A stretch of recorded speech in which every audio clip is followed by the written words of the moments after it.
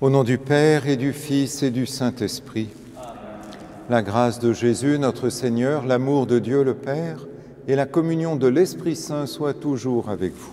Et avec votre esprit. Bonjour, euh, cher Père Philippe, Père Clément, Père Rodolphe, Séraphin et vous tous qui suivez cette Eucharistie en ce 13 mai, fête Notre-Dame de Fatima à l'occasion évidemment d'être en lien avec le sanctuaire. Pendant cette Eucharistie, nous prierons particulièrement pour les défunts de la famille Chevillon-Pernaud, en particulier Josette et Pierre, pour Antoine Pierre et Félicie. Nous avons également, à la demande de Maria Martins, déposé quatre grandes bougies et aux intentions qui sont dans son cœur. Nous prierons, comme nous le faisons aussi chaque jour, pour les malades, les soignants et pour tous ceux qui nous confient des intentions. D'un seul cœur, les apôtres participaient fidèlement à la prière avec Marie, la mère de Jésus. Alléluia. Oui, en ce jour où nous faisons mémoire de Notre-Dame de Fatima, elle qui est apparue un 13 mai 1917 à trois enfants, François, Jacinthe, Lucie, pour, euh, à travers eux, inviter toute l'humanité à la prière, à se tourner avec confiance vers le Christ pour qu'il puisse donner au monde la paix.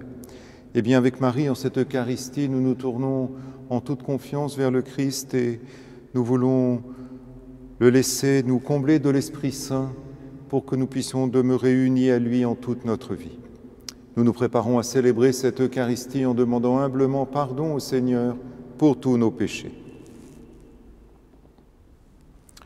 Je confesse à Dieu Tout-Puissant, je reconnais devant mes frères que j'ai péché en pensée, en parole, par action et par omission. Oui, j'ai vraiment péché. C'est pourquoi je supplie la Vierge Marie, les anges et tous les saints, et vous aussi, mes frères, de prier pour moi le Seigneur notre Dieu. Que Dieu Tout-Puissant nous fasse miséricorde, qu'il nous pardonne nos péchés et nous conduise à la vie éternelle.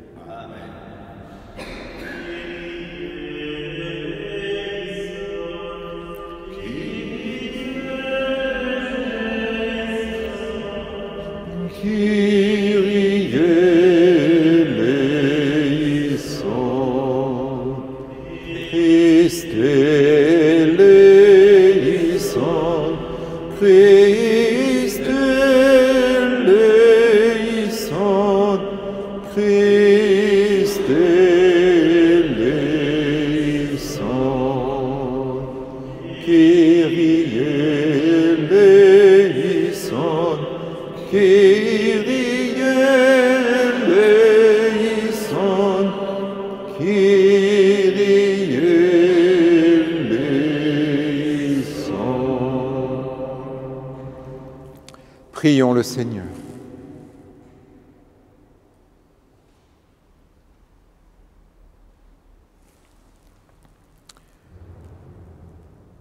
Dieu qui as envoyé l'Esprit Saint sur tes apôtres quand ils étaient en prière avec Marie, la mère de Jésus, donne-nous par son intercession de savoir te servir avec fidélité et de travailler par la parole et l'exemple au rayonnement de ta gloire, par Jésus-Christ ton Fils, notre Seigneur et notre Dieu, qui vit et règne avec toi, Père, dans l'unité du Saint-Esprit, maintenant et pour les siècles des siècles.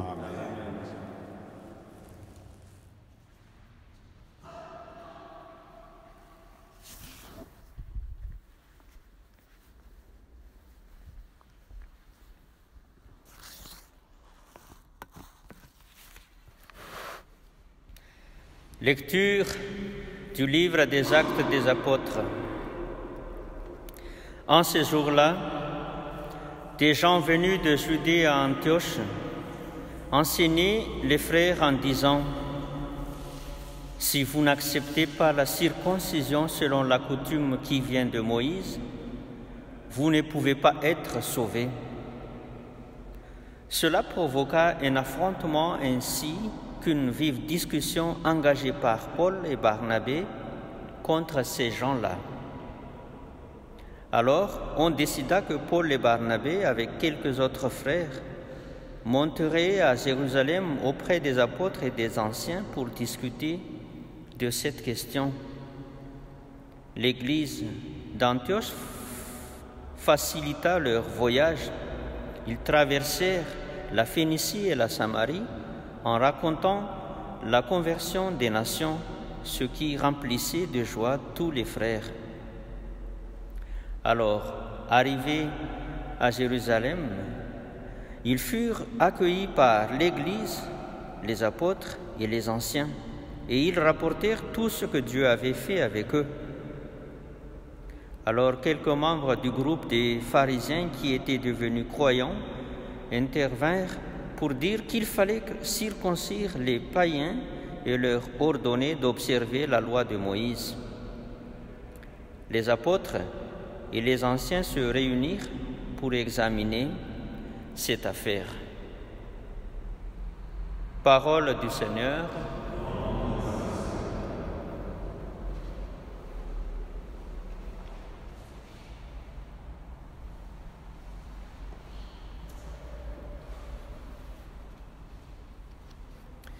Dans la joie, nous irons à la maison du Seigneur.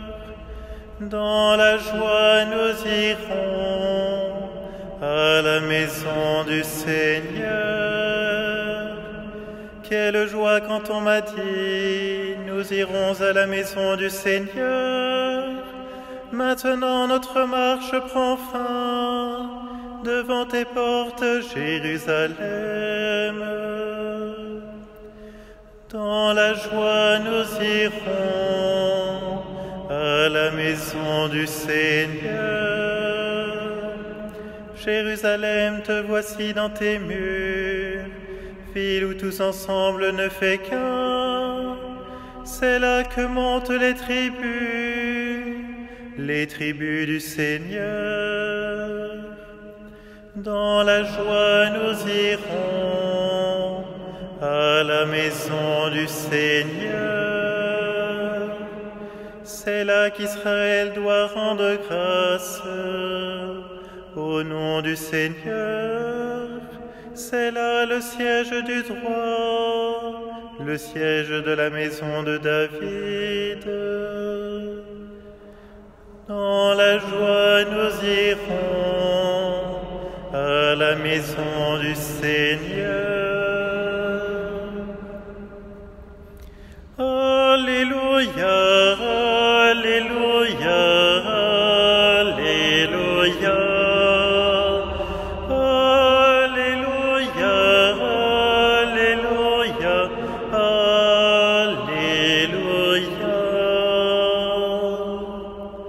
Demeurez en moi comme moi en vous, dit le Seigneur.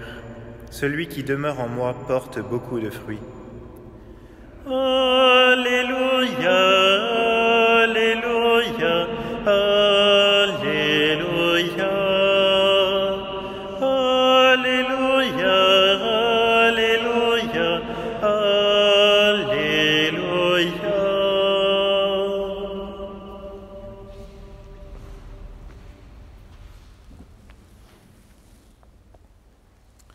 Le Seigneur soit avec vous. Évangile de Jésus-Christ selon Saint Jean. En ce temps-là, Jésus disait à ses disciples, Moi, je suis la vraie vigne, et mon Père est le vigneron.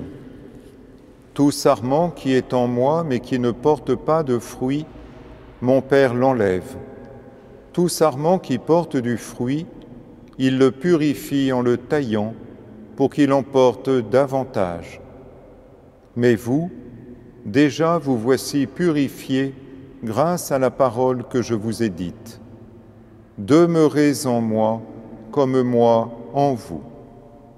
De même que le sarment ne peut pas porter de fruits par lui-même s'il ne demeure pas sur la vigne, de même vous non plus si vous ne demeurez pas en moi. Moi, je suis la vraie vigne, et vous les sarments. Celui qui demeure en moi, et en qui je demeure, celui-là porte beaucoup de fruits, car en dehors de moi, vous ne pouvez rien faire. Si quelqu'un ne demeure pas en moi, il est comme le sarment jeté dehors et il se dessèche. Les sarments secs, on les ramasse, on les jette au feu et ils brûlent.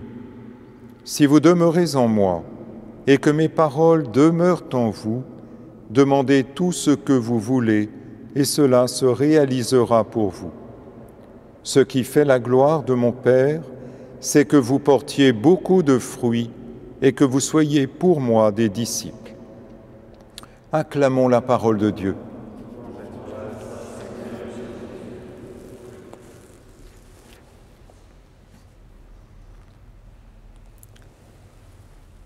Nous nous souvenons, frères et sœurs, que dans l'Ancien Testament et plus particulièrement dans le livre d'Isaïe, Dieu nous parle de son peuple comme euh, d'une vigne qu'il a lui-même plantée.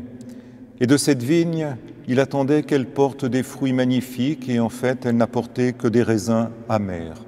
Et c'est toute l'histoire malheureuse, dramatique du peuple d'Israël que de n'avoir jamais porté véritablement de fruits, un fruit que le Seigneur attendait d'elle.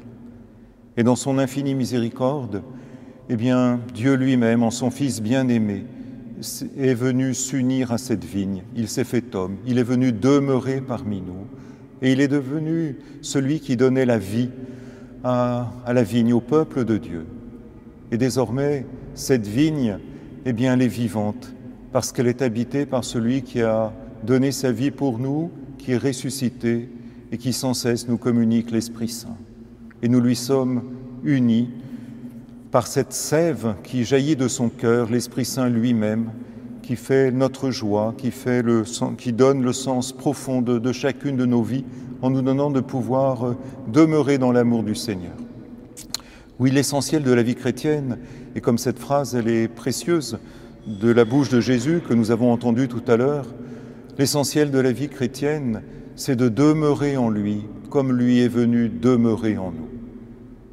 Il ne s'agit pas pour nous d'abord de faire des choses, il ne s'agit pas pour nous de faire des choses pour le Seigneur avec toute la bonne volonté qui pourrait être la nôtre, même si bien sûr cela a évidemment son sens. Il s'agit pour nous d'apprendre à demeurer de plus en plus en lui, comme lui vient demeurer en nous. Comment prendre ce chemin et grandir sur ce chemin de demeurance dans le Seigneur en nous mettant à l'écoute de sa parole, en apprenant véritablement à laisser cette parole demeurer en nous.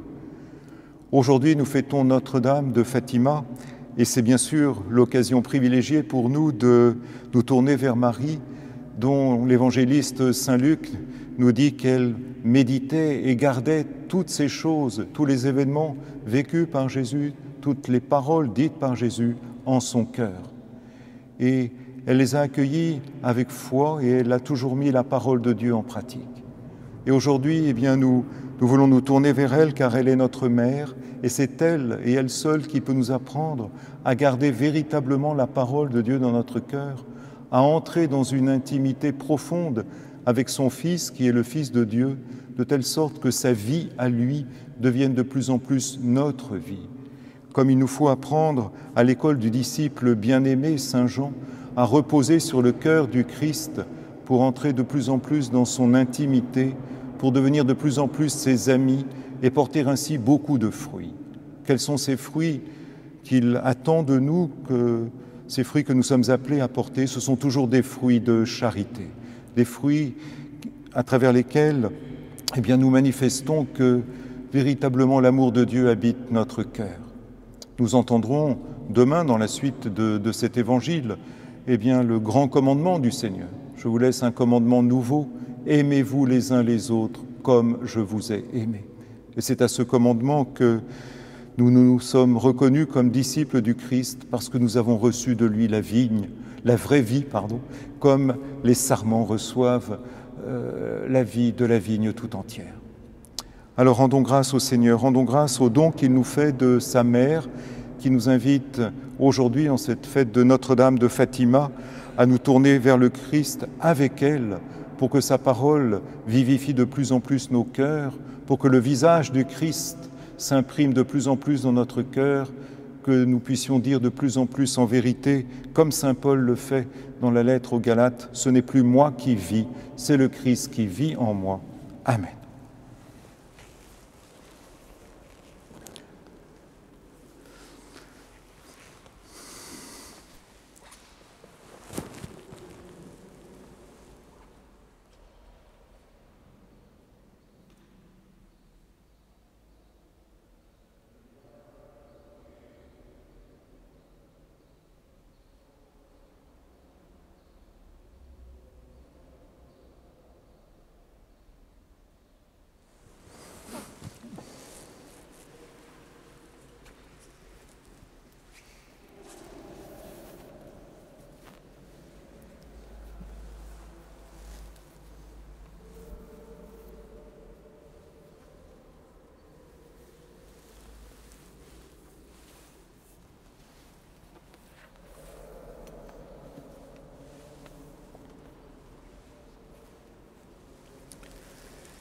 Tu es béni, Seigneur Dieu de l'univers, toi qui nous donnes ce pain, fruit de la terre et du travail des hommes.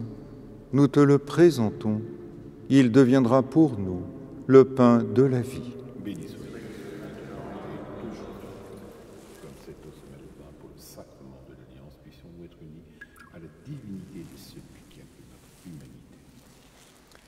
Tu es béni, Seigneur Dieu de l'univers, toi qui nous donnes ce vin fruit de la vigne et du travail des hommes. Nous te le présentons, il deviendra pour nous le vin du royaume éternel.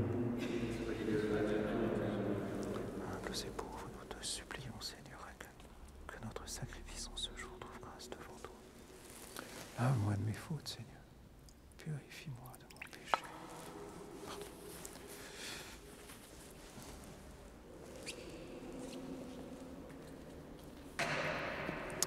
Prions ensemble au moment d'offrir le sacrifice de toute l'Église. Alors que nous faisons mémoire de la Vierge Marie, nous te présentons, Seigneur, nos offrandes et nous sollicitons le secours de celui qui voulut s'offrir à toi sur le calvaire, Jésus-Christ, ton Fils bien-aimé, lui qui règne pour les siècles des siècles. Le Seigneur soit avec vous. Élevons notre cœur. Rendons grâce au Seigneur notre Dieu. Vraiment, Père très saint, il est bon de reconnaître ta gloire dans le triomphe de tes élus et pour fêter la Vierge Marie, de reprendre son cantique d'action de grâce. Oui, tu as étendu ta miséricorde à tous les âges et révélé tes merveilles à la terre entière en choisissant ton humble servante pour donner au monde un Sauveur, ton Fils, le Seigneur Jésus-Christ. C'est par lui que les anges assemblés devant toi adorent ta gloire. À leur hymne de louange, laisse-nous joindre nos voix pour chanter et proclamer.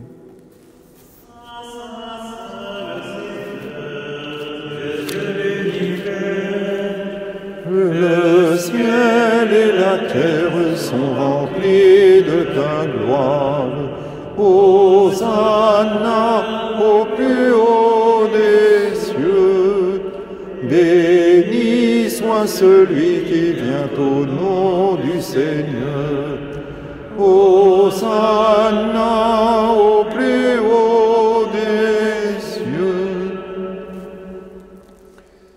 Tu es vraiment saint Dieu de l'univers, et toute la création proclame ta louange, car c'est toi qui donnes la vie, c'est toi qui sanctifies toutes choses par ton Fils, Jésus-Christ notre Seigneur, avec la puissance de l'Esprit Saint. Et tu ne cesses de rassembler ton peuple afin qu'il te présente partout dans le monde une offrande pure. C'est pourquoi nous te supplions de consacrer toi-même les offrandes que nous apportons.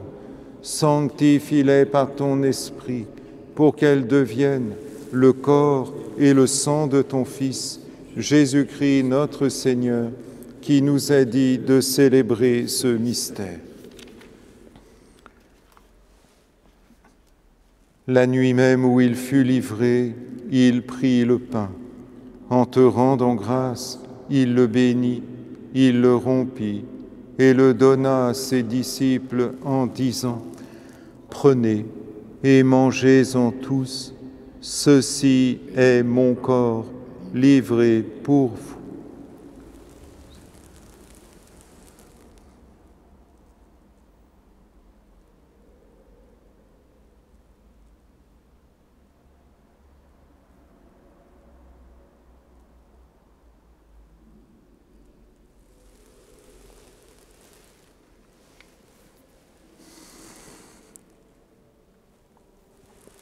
De même, à la fin du repas, il prit la coupe. En te rendant grâce, il la bénit et la donna à ses disciples en disant, Prenez et buvez-en tous, car ceci est la coupe de mon sang, le sang de l'alliance nouvelle et éternelle, qui sera versé pour vous et pour la multitude en rémission des péchés. Vous ferez cela en mémoire de moi.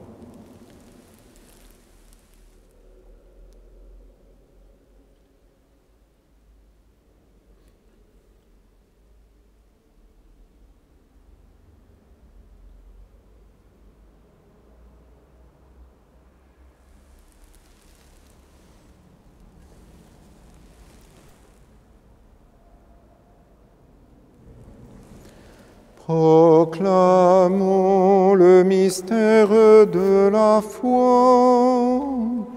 Gloire à toi qui étais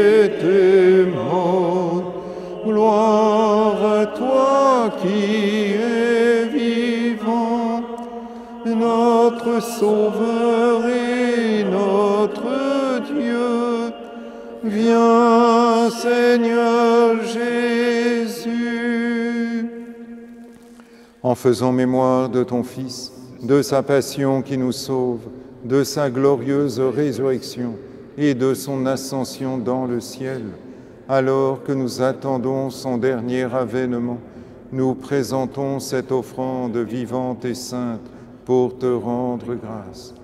Regarde, Seigneur, le sacrifice de ton Église et daigne y reconnaître celui de ton Fils qui nous a rétablis dans ton alliance.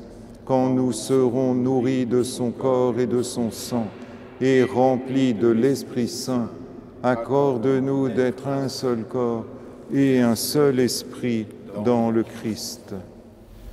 Que l'Esprit Saint fasse de nous une éternelle offrande à ta gloire, pour que nous obtenions un jour les biens du monde à venir. Près de la Vierge Marie, la bienheureuse Mère de Dieu, avec les apôtres, les martyrs et tous les saints qui ne cessent d'intercéder pour nous.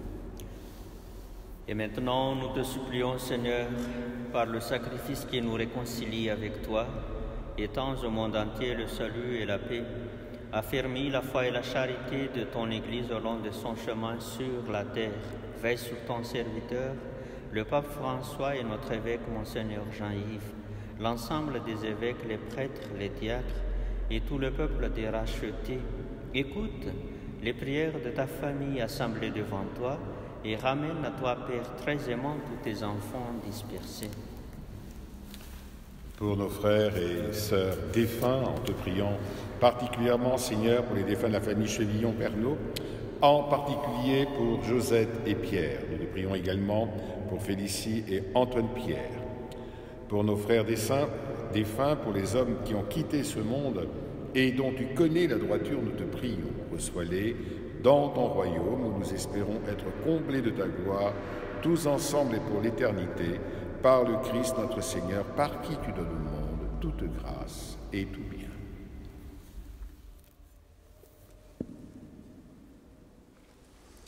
Par lui, avec lui et en lui, à toi, Dieu le Père Tout-Puissant, dans l'unité du Saint-Esprit, tout honneur et toute gloire pour les siècles des siècles.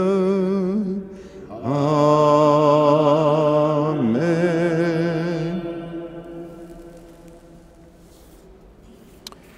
Unis dans le même Esprit Saint, lui qui nous unit à cette vigne qui est le Christ, en nous donnant d'avoir part à sa vie, redisons en toute confiance la prière que nous avons reçue du Sauveur. Notre Père, qui es aux cieux, que ton nom soit sanctifié, que ton règne vienne, que ta volonté soit faite sur la terre comme au ciel.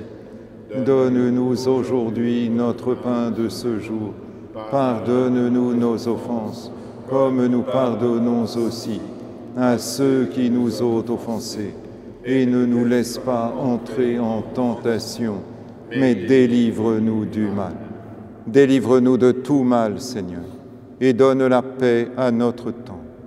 Par ta miséricorde, libère-nous du péché, rassure-nous devant les épreuves en cette vie où nous attendons la bienheureuse espérance, l'avènement de Jésus-Christ, notre Sauveur.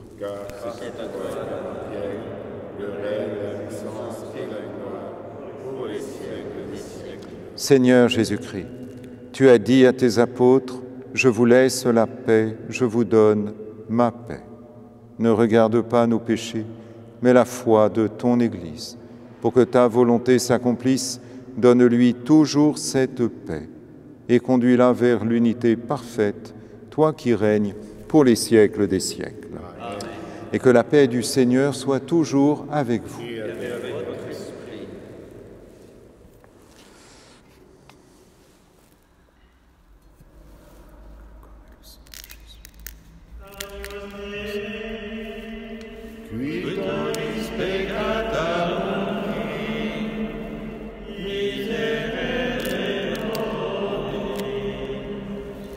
Amen.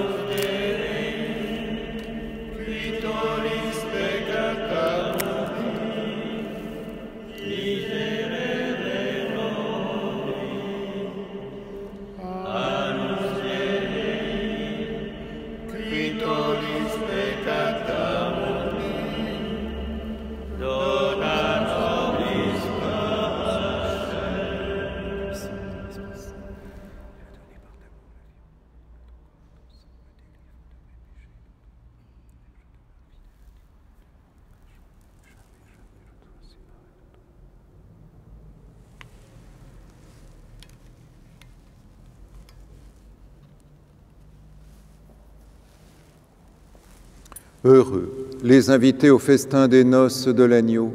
Voici l'agneau de Dieu qui enlève le péché du monde. Seigneur, je ne suis pas digne de te recevoir, mais dis seulement une parole et je serai guéri.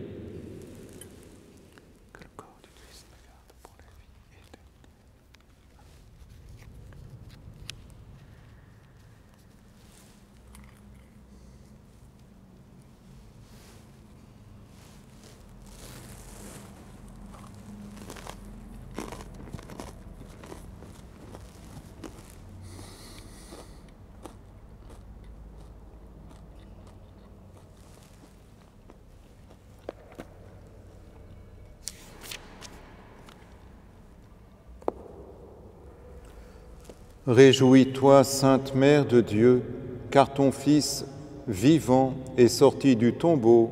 Alléluia.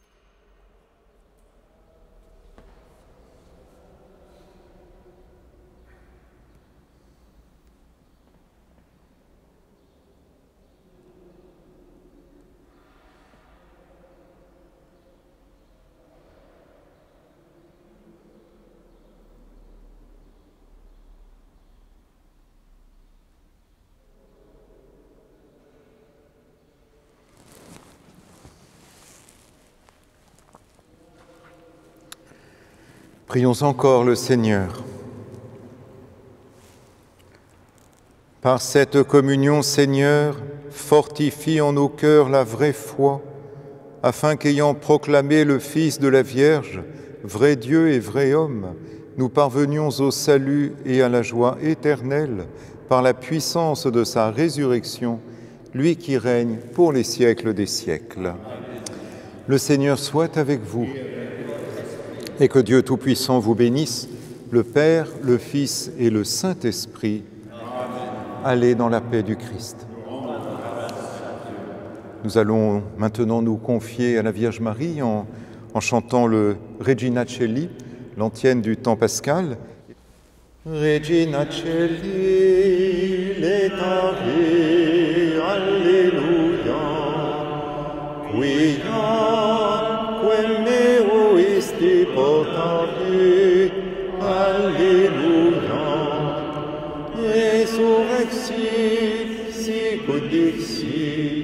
Allah